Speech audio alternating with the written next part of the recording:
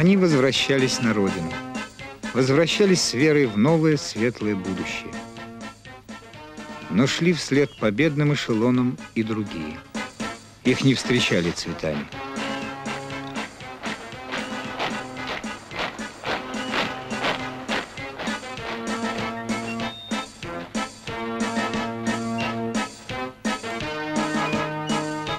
Клеймом изменников Родины, транзитом из немецких концлагерей в Отечественный, везли оставшихся в живых советских военнопленных, солдат и офицеров, около двух миллионов человек. Возобновились аресты по доносам, за неосторожное слово, за преклонение перед Западом, да мало ли за что. Все возвращалось на круги своя.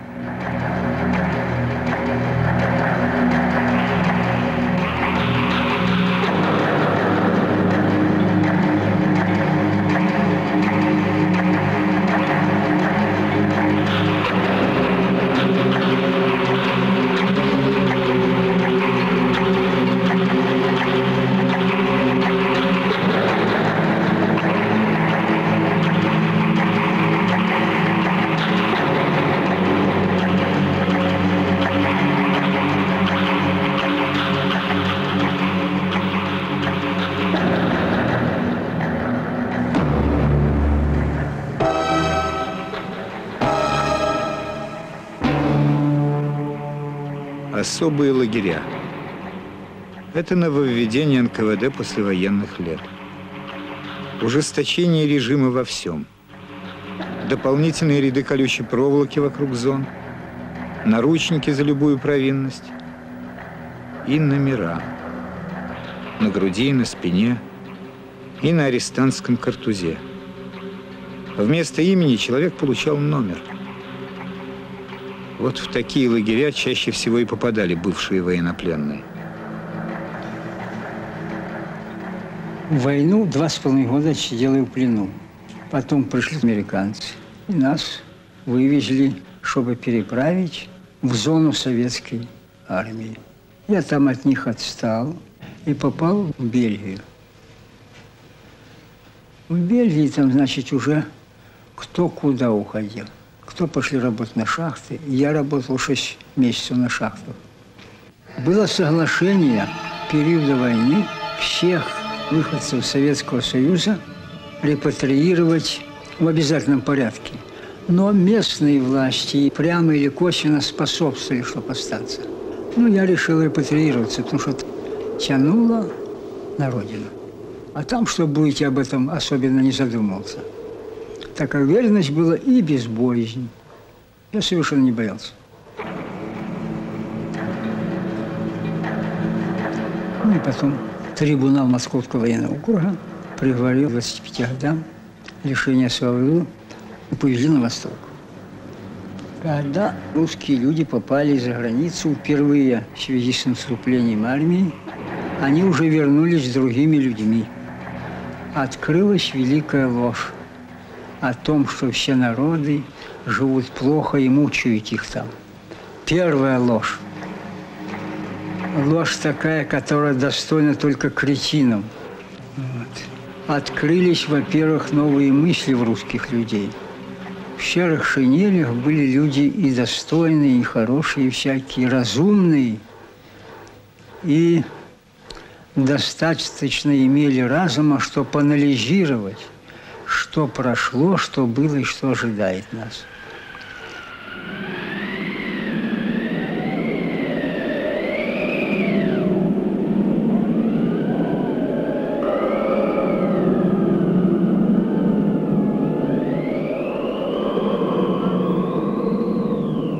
Кто знал тогда, что долгожданная амнистия по случаю победы почти не коснется политических? Что грядет повторение 1937 года, и новые поколения станут жертвами необъявленной войны с народом.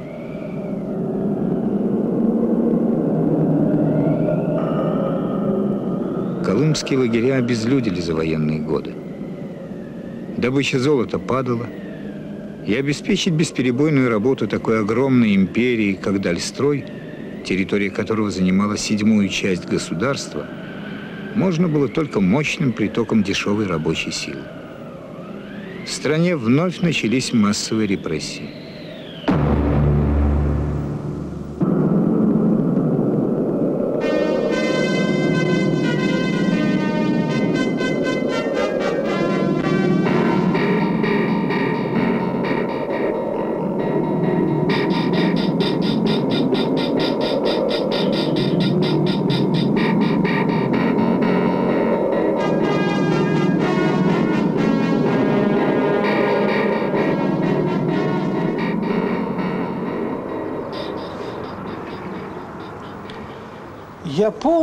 Полностью реабилитирован, имею раны и справки. Две пули в меня попали на дальней глухой Колыме. Одна размозжила локоть, другая попала в голову и прочертила по черепу огненную черту. Три друга мои погибли, их положили у вахты, чтобы зэки шли и смотрели – Нельзя бежать с Колымы. А я, я очнулся в зоне, а в зоне добить невозможно. Меня всего лишь избили носками кирзовых сапог, сломали ребра и зубы, били и в пах, и в печень, но я все равно был счастлив. Я остался живым. Оказался я на Колыме, потому что в 1949 году в Воронеже действовала подпольная организация молодежи. Была подпольная структура, пятерочная. Простейшая такая, обыкновенная, простейшая пятерочная структура. Мы ставили своей целью устранение Сталина от власти. Причем платформа наша была основана на марксизме-ленинизме. Участие в такой организации было виною, виной настоящей. Вина, она была, конечно, мы были той виной сильны. Нам, виноватым, было легче, чем взятым вовсе без вины. Вот понимаете, такая была гордость, что мы боролись с этим режимом – и попали не за что, а за дело. Заключенный подавлен лагерем. Все, что было дорогим, растоптано в прах. Аргумент спора – кулак, палка. Средство понуждения – приклад, зуботычно. Власть – это растление. Спущенный с цепи зверь, скрытый в душе человека, ищет жадного удовлетворения в побоях, в убийствах. Этот случай был со мною. Ставили запретную зону. Дощечка белая, к ней колышек, и они расставлялись вокруг этого места, где мы работаем. И вот солдат мне вдруг сказал, «Эй, 594 а у меня номер был, вот я его сохранил, и 2 594. Лазерный номер. Пойди-ка сруби вон то деревце. Оно мне обзору мешает. Я говорю, так оно за запреткой. Ну я же разрешаю. Тут Захарченко громким, зычным офицерским голосом сказал, Жигулин, Раевский, не выходить за запретку. Вся бригада, ложись! На, на шпалы между рельсами. Приказы конвоя не выполнять до прихода начальства из лагеря. Он тебя хочет убить. Пришел лагерное начальство, и солдата управили в военную психбольницу. Часто конвоирам удавалось убивать заключенных. У него автомат, ему внушили, что это враги народа. И я уже неделю, а то и две, я знал, что он меня хочет убить. Я знал это, но не понимал, почему я об этом думаю. А это передавались биотоки от него ко мне. Вот что интересно, понимаете?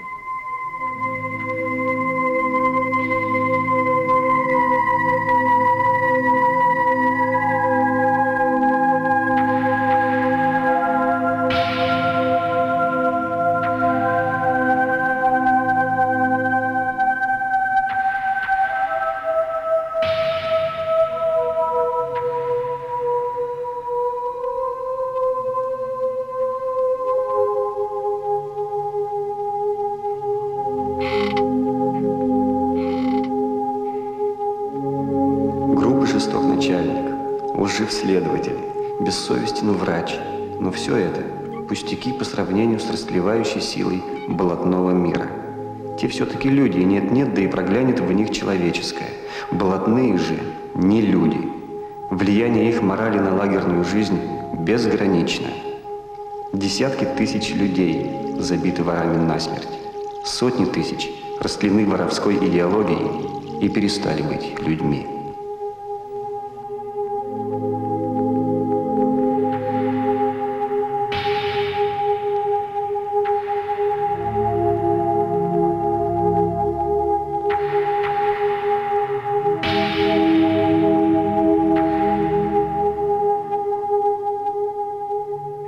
Даже неприятно об этом говорить, но активное сопротивление в Охре оказывали только уголовники.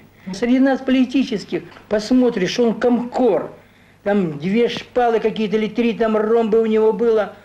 Он был за в бане, он тележного скрипа боялся, он вообще не только чтобы его не трогали. Ну, думаю, что его, его фамилия в учебниках мы читали – и, и они себя, как правило, они позволяли себя грабить уголовникам, издеваться обслуги этим нарядчикам, этим вот растратчикам всяким, вот это самое, уже не говоря о, о этих вот о чекистах.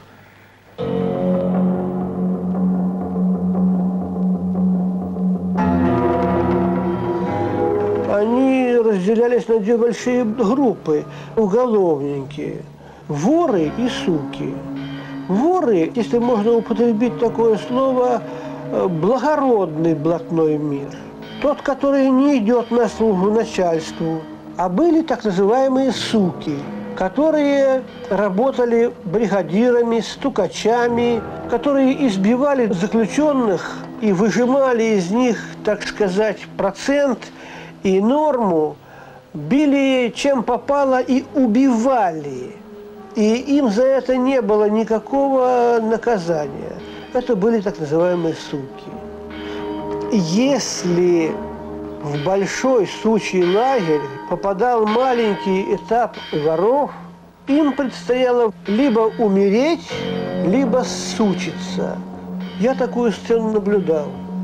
Все были выстроены. Предводитель сидел на стуле под столбом, на столбе рельс которым бьют на развод. И двое с обнаженными ножами выводили из карцера молоденького воришку. Его проводили вдоль строя, затем подводили к столбу, давали ему ломик, и он три раза бил в рельс, который висел на столбе. Это был обряд такой. Тогда предводитель стук вставал со стула, торжественно расстегивал ширинку, и этот несчастный воришка целовал его член. После этого ему вручали финку. Он становился полноправным сукой. И он должен был зарезать нескольких своих товарищей бывших он уже переставал быть человеком. Весь строй стоящих мужиков, работяг, фраеров, он такой молчаливый, всем стыдно. Я почему-то подумал, лучше было бы умереть.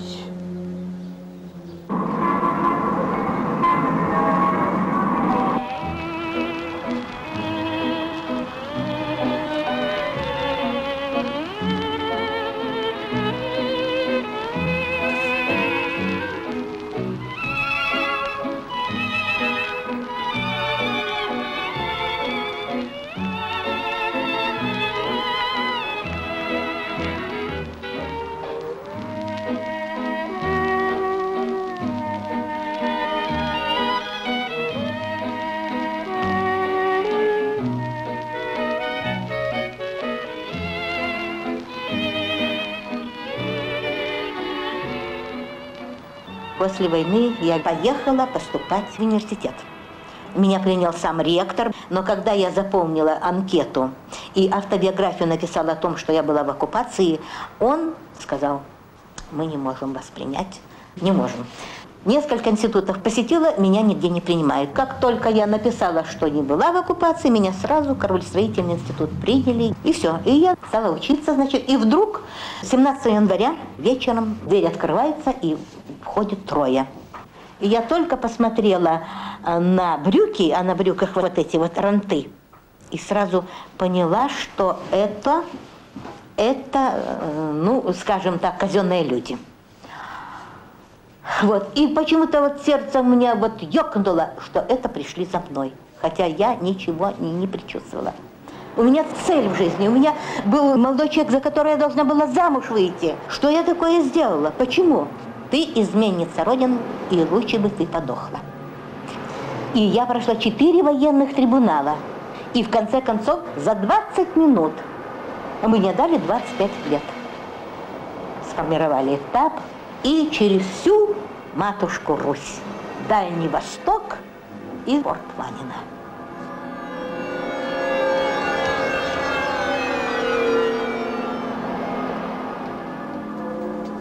Судно еще стоит у причала. Мужчины грузились в другие трюмы, а в этом центральном были только мы, женщины. И вот эти вот воровки в законе, они имели свое кодло. Вот это бакланье, в руках у них эти писки, бритвы.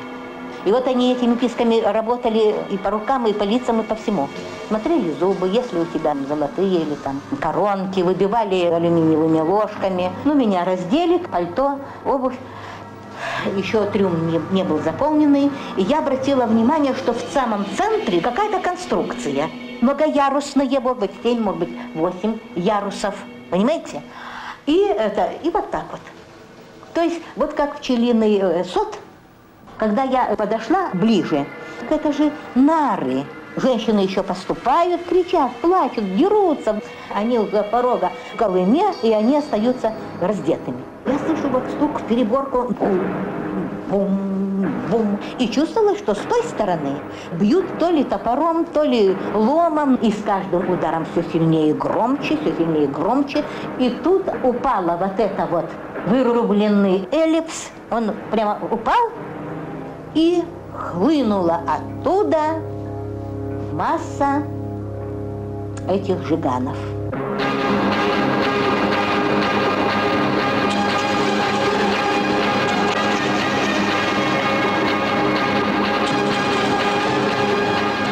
Оголенные совершенно торсы, все руки, грудь, вся спина, вся эта в татуировках – и стали тащить женщин. Хватают кого за волосы, кого за... и тащат на эти нары. Ну, конечно, женщины кричат. Один вид, и вот этот вот, вот это вот движение, вот это вот поток, представляете? Ну, это кошмар. А мы уже сбились у этого трапчика. Извините, я еще была девственница. И у меня шок был еще больше. Все лезли к тому, чтобы все-таки выскочить на палубу. Ну, где там я ногами упиралась, я там руками сбиралась, сбиралась. Вой, крик, я тоже кричала. Я молилась. И я кричала во всю живые помощи, и все, Господь, помоги, отведи, выведи. В общем, я не помню, вот в таком духе я все кричала, только бы мне отсюда вырваться.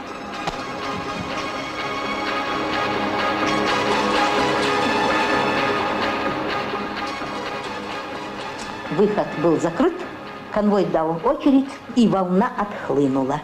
И я вступила на ступеньку предпоследнюю, а уже там не только первый э, ряд нар, а уже и второй, третий, полное изнасилование. Там кричат, там орут, там визжат, там я не знаю что. И когда ты вот такое видишь, я схватил, он держит автомат и кричит, контра стрелять буду. И я вот, такой был звездный миг у меня – я схватилась за середину вот этого автомата, он вот так вот держал. А я схватилась за середину этого автомата, а он-то, конечно, не ожидал, и он вот потянул на себя, как будто бы я у него вырываю, а я-то просто зацепилась. Вот. И он как-то вот отпрянул рефлекторно. И в этот момент я, не чувствуя своего веса, выскочила на палубу.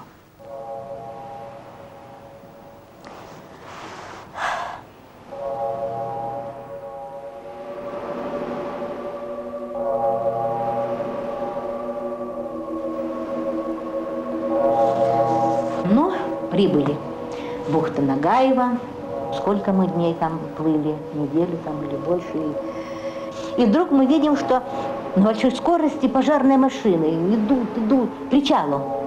А когда открыли люк и приказали, чтобы все стали подниматься, то никто не поднялся уже, потому что шел большой колымский трамвай, сплошное изнасилование женщин.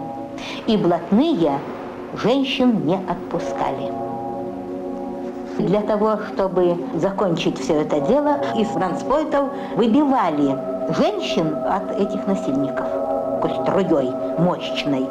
И нижние нары уже были затоплены. А там же были и зарезанные, шла карточная игра, беспробудная. Ставка была человеческая жизнь. Кого резали, бросали прямо с нар. Плавали в этой воде трупы, человеческие экскременты. Все это вот было перемешано. И баграми хватали этих насильников и вытаскивали.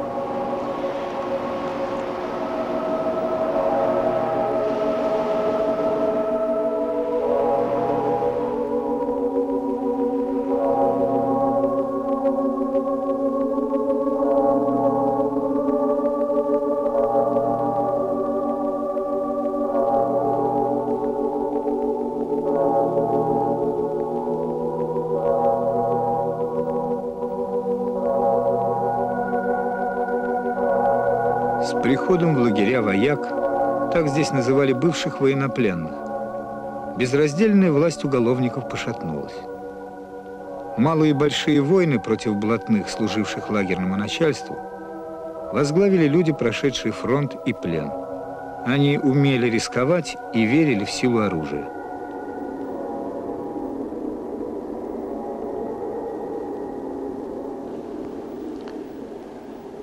Иногда политические в борьбе с суками примыкали к ворам, особенно военные, бывшие пленные. Фашистские палачи Физемия и Гейша творили ужасные пытки и казни. Они выполняли волю начальства.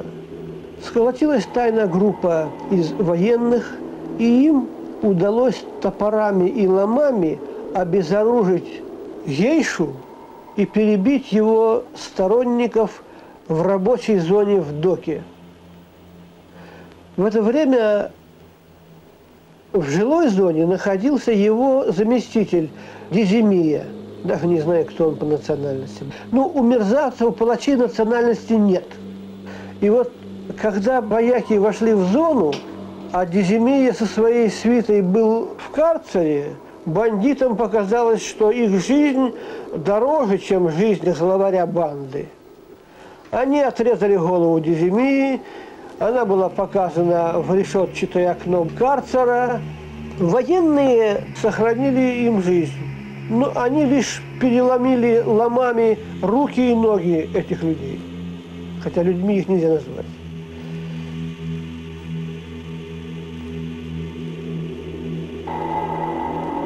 Есть такая лесопильная машина, которая режет бруски. И вот ейшу привязали к широкому брусу и малой скоростью пустили навстречу вертикально движущимся пилам. Он орал, просил прощения, просил жить, очень хотел жить, но э, его разрезала эта самая балиндра, это эти пилы. Конечно, это тяжелая казнь, но это, это было справедливо.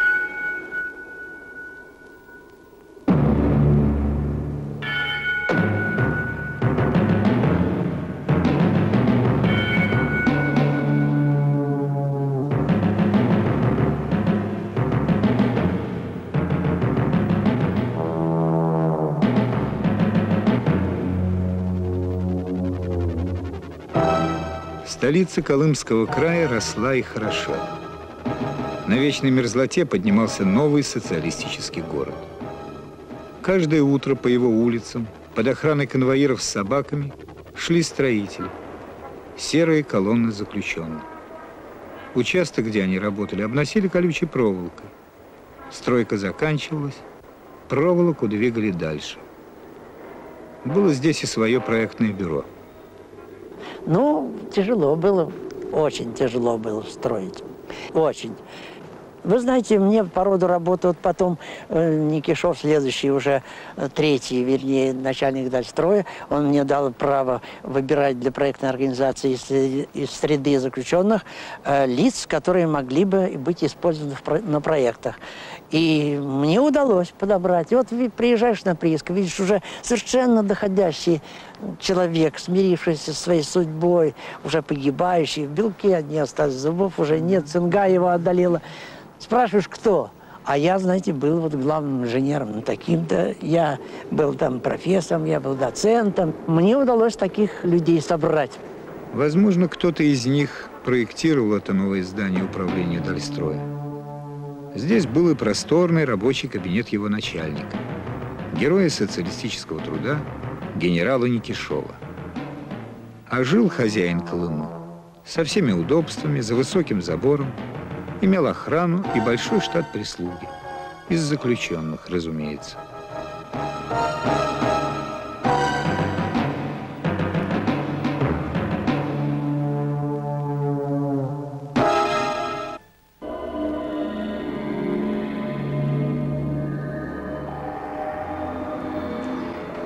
Магадане была особая обстановка. Там было у нас самое высшее начальство. Это несколько генералов, которые жили за железным занавесом. Мне удавалось бывать часто на их банкетах, компаниях. Я чувствовала все их убожество. Убожество именно духовной погони. Кто кого перещеголяет, на ком какие бархаты одеты, там шелка и так далее. Хапуги такие. Они все старались из заключенных выжимать. Вот жена Шухаева, Вера Федоровна, значит, вышивала ночные рубашки, сорочки. Она художник-прикладник, который прожила 14 лет в Париже. Это была вот такая... А таких вышивальщиц много было? Много. Да, вот все они работали на это высшее начальство. Всякие услуги, значит, и, э, обслуживали там их и дома, там и как повара, и, э, и этот мир был такой отгороженный от остального народа. Причем руководящему составу была явная неприязнь со стороны более наемных всех. У нас только материальное неравенство бросалось в глаза. Проходили всякие пирушки, купеческое такое застолье.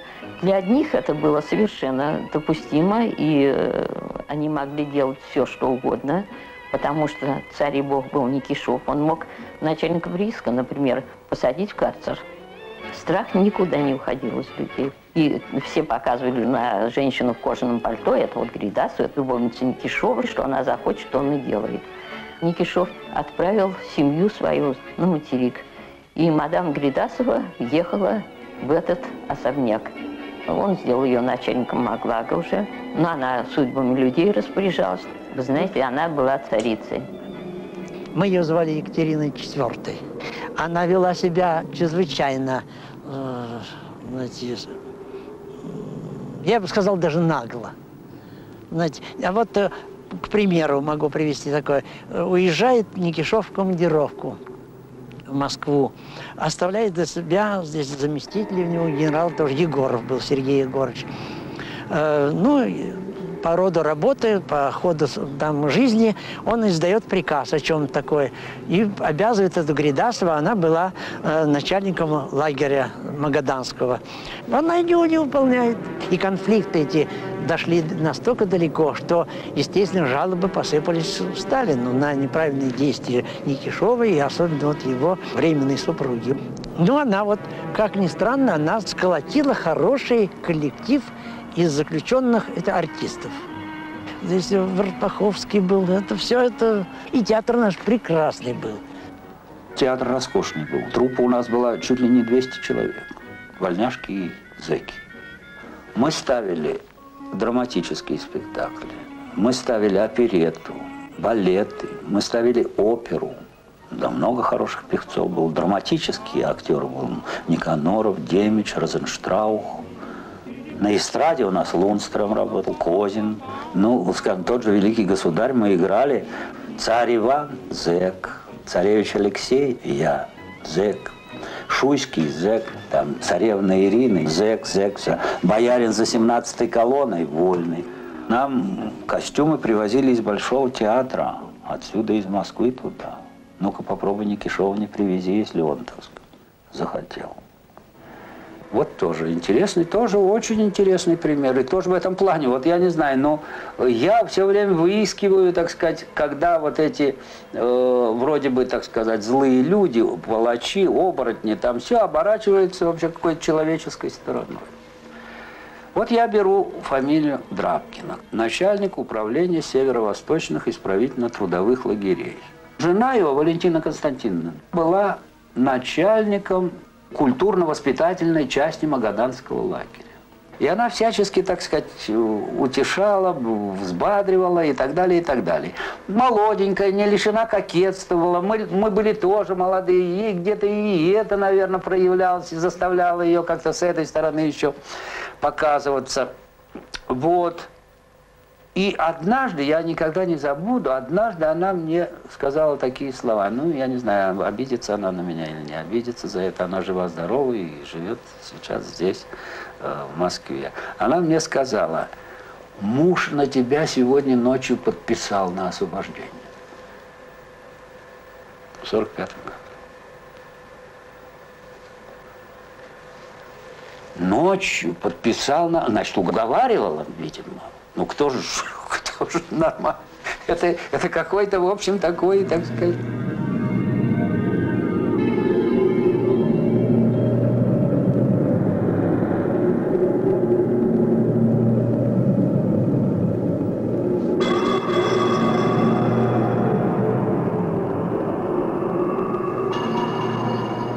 Ни одному человеку в мире не надо знать лагерей. Там много такого, чего человек не должен видеть. Каждая минута лагерной жизни – отравленная минута.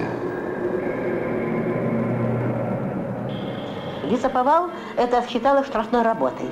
Подъем 5 часов, сразу бежали в столовку, там заправлялись, гороховый суп рататуй, пайку хлеба, э, ватные брюки, э, шапка-ушанка, все лицо покрыто тряпками, только узенькая щелочка для глаз. Несмотря на то, что ты натянул на себя все, что ты можешь, все, ты голый, Бывала и пурга. Даже спины впереди идущего ты не видишь. Колонну веревкой окручивали, чтобы нас не сорвало, не унесло. И вот мы держались друг за друга, вот тут идет пятерка, ты, значит, друг за друга, а крайне держится за эту веревку. Снегопады там лавиной шли. А люди больные, люди истощенные, люди голодные. И уже барахтаешься и карабкаешься на эти сугробы. А сугробы такие, что лошади не шли. Если вот выпадала эта лавина снега, лошади боялись. И мы, заключенные, торили им дорогу. Торим лошадям. Потому что лошади, как я там пишу, уважали себя. Лошади не люди. Они себя уважали. То есть они как вкопанные. Вот как вкопанные стояли, и ты их не погонишь, ни, ни, ничего. Они вот стоят, и хоть ты умри.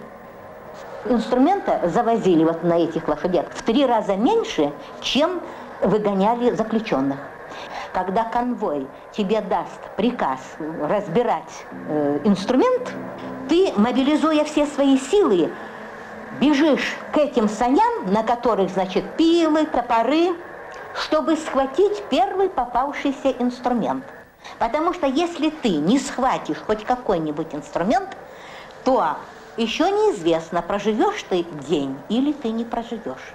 Если у тебя нет инструмента, закоченеешь. На санях идет бойня. Все рвут кто лук, кто топор. Тянет каждый к себе, и уж что там ему попадет на пути, лицо ли, нос ли.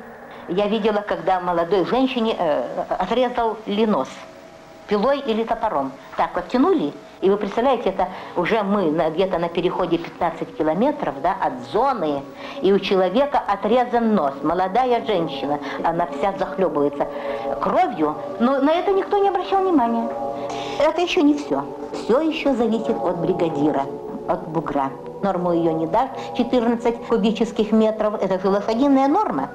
То он тебе запишет, то и твое. Вот он тебе ничего не запишет, значит все, тебе уже карцер, не выполнил норму. Переходы большие. От лагеря это где-то 15 километров. когда мы возвращались, о Боже, они устраивали свои аллилуйи. Ночь наступает, уже видны огни лагеря, люди изможденные, голодные, и вдруг их ложат на этот наст, кто начинает кричать, кто вот читали молитвы, плакали на взрыв. А блатные там уже такой свист устраивали, такой визг вой, такой мат-перемат, что конвой собак напускал.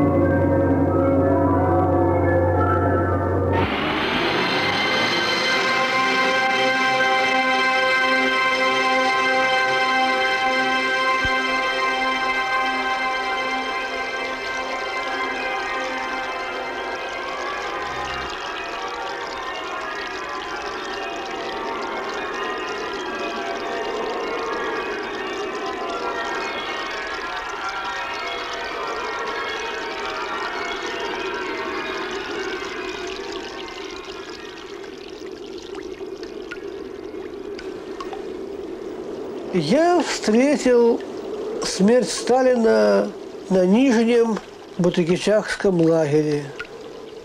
Работали и думали, ну как он там, к зоне подходим, ну, ребят, как он, подох? Еще нет, ну, все дело к тому идет. Ну, слава тебе, Господи! Когда же он умер, заиграла траурная музыка, все обнимались, как на Пасху. Ну, все, кто там был, все национальности, все. Начальство не знало, что делать, боялось зайти в зону. У них инструкции не было, у них инструкции на смерть Сталина не было заготовлено. Зона расцвела флагами. Красными советскими флагами, но без траурных лент. Там было много иммигрантов бывших, харбинцев, из Франции, из Восточной Европы. Те подняли русские флаги. Литовцы желто-зелено-красные, как сейчас помню. Украинцы подняли желто-блакитный прапор. Ну, ликование было. Хотя порядки, в конце концов, остались прежние, и потепление на Колыму шло очень долго.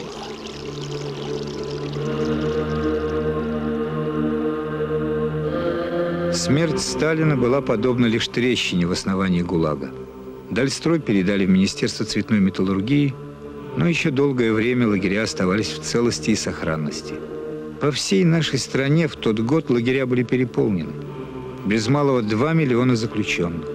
И это после амнистии. И это только официальные цифры.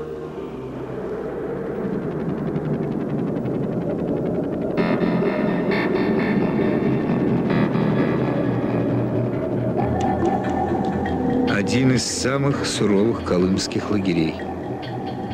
На всесоюзной карте тех лет он был обозначен как город с населением в 50 тысяч человек.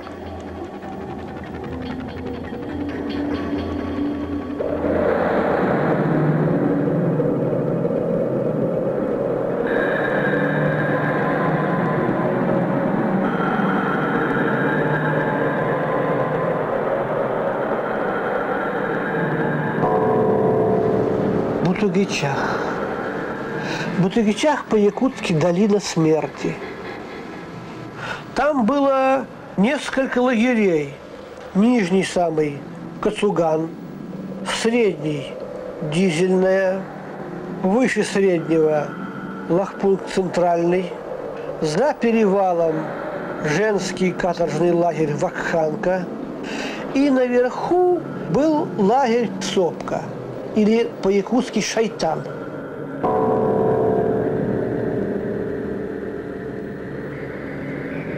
Там на Батагичахе добывали уранит. Мы вот катали вагонетку, в которой была урановая руда. Никакой защиты не было. А вольно-наемный горный мастер сидел за щитом, как в рентгеновских кабинетах. Смерть там была повседневным явлением. Я месяцами долгими сидел в буре, чтобы спастись от лучевой болезни.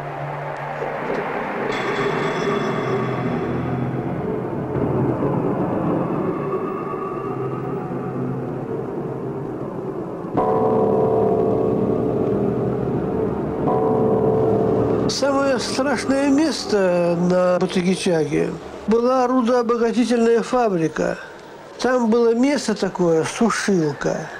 Такие большие противни, электрические плиты. И кочережечками они сушат уранит. Работа легкая. Работали по 4 часа всего. С удовольствием шли на эту работу западноукраинские молодые парни – чем в шахте вкалывать 14 часов. Через 20 смен их здоровых, отдохнувших направляли в специальную лечебную зону. Туда вход никому не был доступен. У них выпадали волосы, шла кровь из ушей, из носа, и они умирали.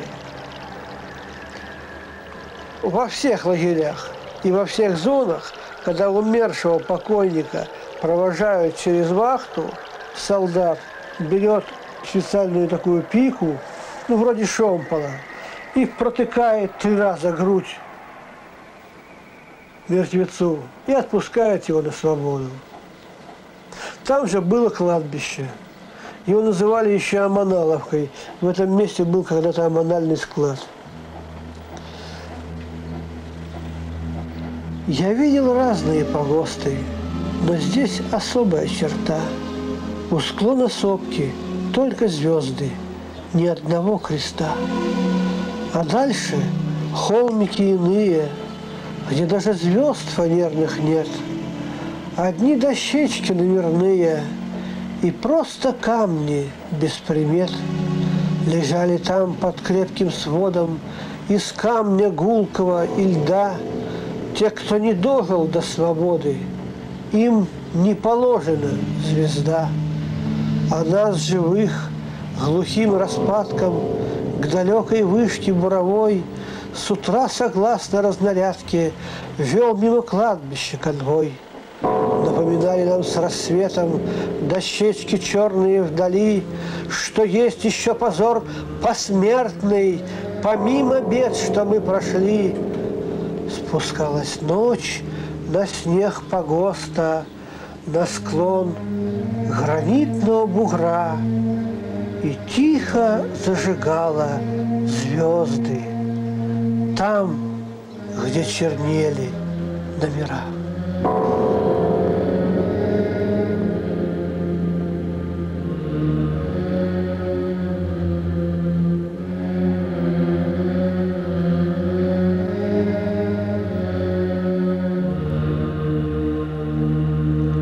После смерти Сталина все заключенные окрепли духом, потому что власть надломилась, все подняли голову, как бы получили моральное право заявить о себе. Началось с того, что был ранен в зоне заключенный, и вся зона остановилась, на работу не вышли. Отказ от работы – это бунт против советской власти. Машина карательная уже не имела той твердости, наше отношение к ним переменилось, и мы потребовали, чтобы нас на ночь не закрывали, сняли решетки с бараков, замки, чтобы разрешили нам писать, чтобы оплачивали нашу работу. Через несколько часов ввели резервную часть по охране лагерей. А мы не заходили в бараки. Кричим им, вон отсюда пираты. Я впереди стоял, а за мной все поддерживали, кричали. Потом начали стрелять. Сначала высоко, потом ниже, ниже. И потом уже пули пошли над головами близко. Ну, я так к этому привычен, обернулся, у меня никого нету там. Вот это и начала возникать идея. Против них нужно создать организованную силу, а не просто вот так растопыренными пальцами бить, а надо бить, наверное, кулаком. Нужно создавать партию. Нас несколько человек собралось там, и мы положили основание Демократической партии России. Вот, а потом, когда нас разбили по разным лагерям, как все равно вот спички горящие раскинули, пошли везде бунты и неподчинения. Вот эти это контингент заключенных привез. По Колыме пошли восстания, неподчинение. Были там люди, прошедшие многие страны, тысячи бесчисленный раз смерти прошедшие. Это были те, которых отбирал Господь для будущего. Пуля не брала, расстрелы не исполнялись, а стрельба по ним при побегах тоже не достигала цели. Помимо нашей воли мы оставались живыми. Сергея Дмитриевича Соловьева освободили только в 1979 году. Побеги, повторные сроки, никаких компромиссов с властью. До сего дня он не реабилитирован.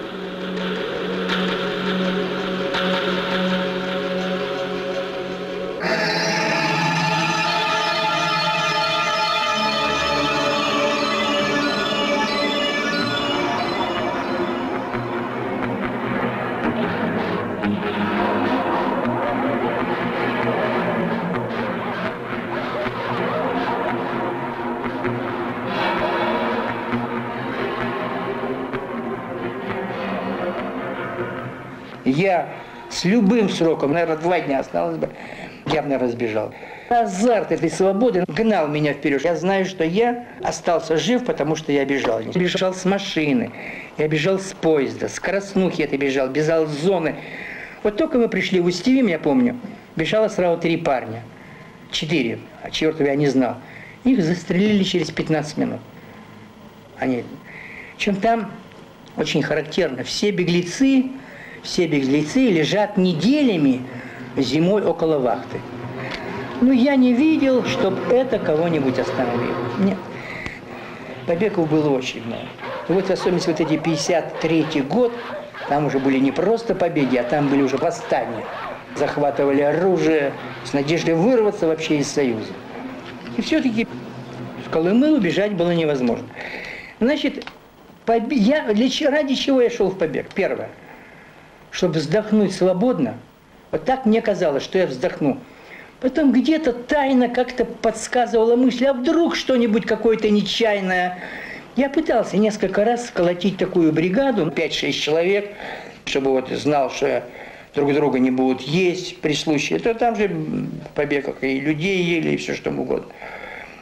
Дело в том, что человек, который бежит с лагеря, он почти уверен на 99%, что его застрелят. Вот, допустим, мы готовились бежать, и собирали продукты, собирали... А здесь прошел типа как дождь. И этот дождь размыл, размыл такую как канаву. Вода бежала и размыла. И мы вдвоем эту канаву. Это было три минуты размышлений.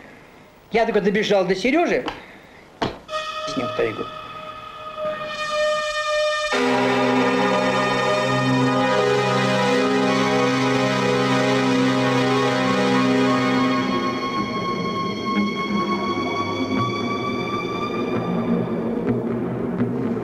С одной стороны, трасса для меня была угроза. Там конвой, там оперчика, опер этой группы.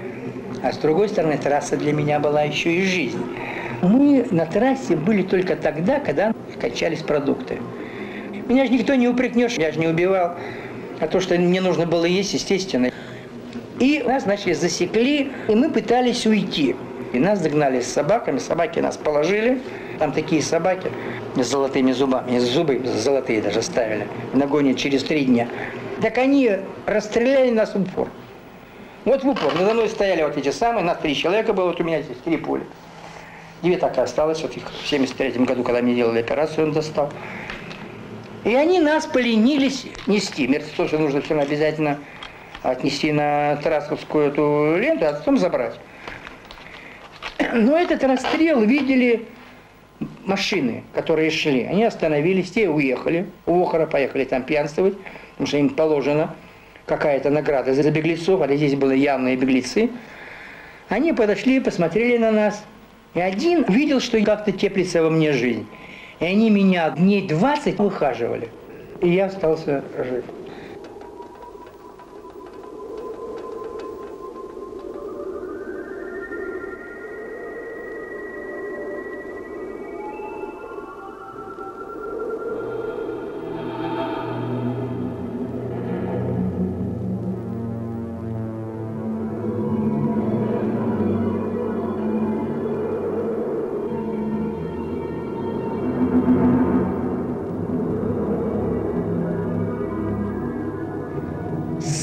Страшное, конечно, вот сколько я прошел, я видел и смерть, и расстрелы, но все-таки ничего худшего, чем работа, я не знаю.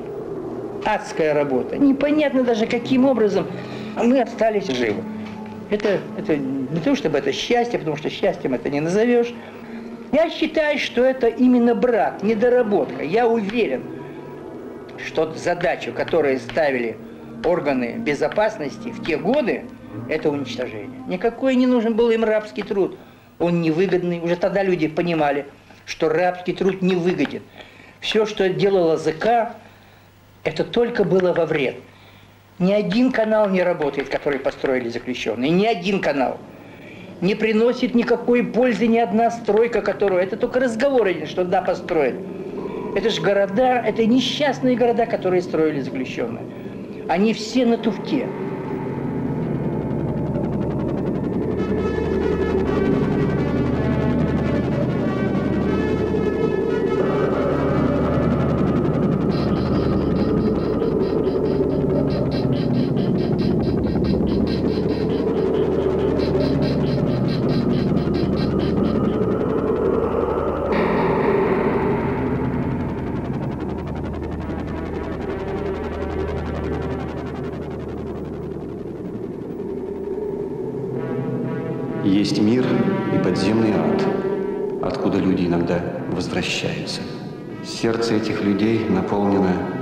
Вечной тревогой, вечным ужасом темного мира.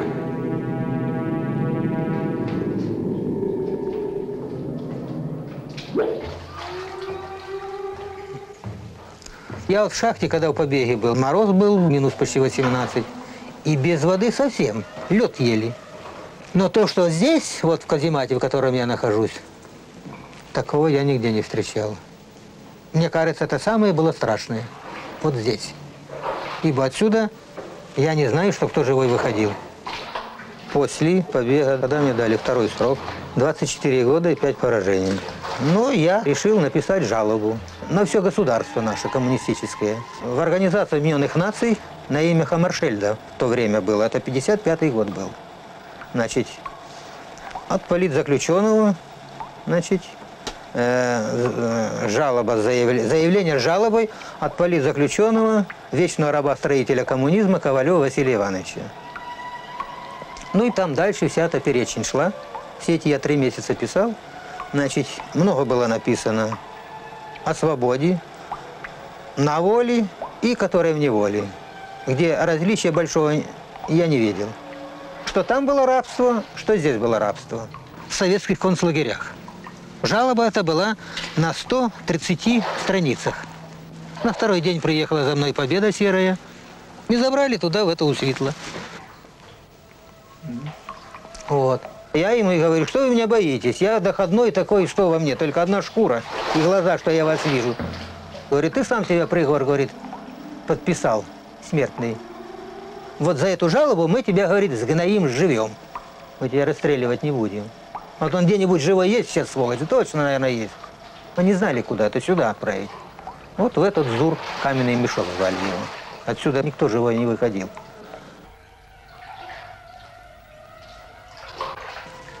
Да, и слышу, значит, дверь открывается с улицы и дыхание собаки. Ну, я не думал, что они на меня могут травить, но не скомандовали взять Шурика. И пустили, видно, собаку. И эта собака вот прямо от той двери и прямо в эту проем в двери и на меня прыгает. Серая, здоровая овчарка собака. Она в то время больше меня весила весом. Я ее носком ударил под шею. И она так и упала прямо у моих ног. И затихла. А потом шесть человек зашло. И об стенку давай бросать. Ну, я и понял, что тут все, мне капец уже. А потом я пришел в сознание, открыл глаза, и на меня потолок стенкой падал. А на потолке были сосульки. Справа в углу ноги торчали. Видно, человек там лежал. Он умерший был и примерший к стенке. Но там бы я, конечно, даже я не мог подниматься. У меня ноги были отбиты и руки, я не мог есть. Я ел как собака все равно, вот в течение, наверное, месяца. Руки не мог поднять. Да. Самый настоящий зверь. Это хуже, чем гестапо были. Красные гестаповцы под игом коммунизма. Да, я так и в жалобе писал. Ненависть. Ненависть к этому советскому коммунистическому режиму. Единственное, что у меня не могли отнять. Все отняли, свободу все отняли. Я их глазами ненавидел, и мыслями своими даже. И если помру, и буду на том свете их ненавидеть.